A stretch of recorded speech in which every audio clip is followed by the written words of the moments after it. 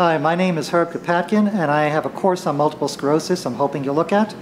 In this course, it's very special because we have a patient with multiple sclerosis who I'm going to interview, evaluate, treat, and then go over her home program. It's a course that is specifically tailored to persons who are going to be working with multiple sclerosis, and it's going to be tailored to getting a specific understanding of the intricacies of this disease. I'm hoping that by looking at this course, you'll have a better understanding of how to work with patients with multiple sclerosis.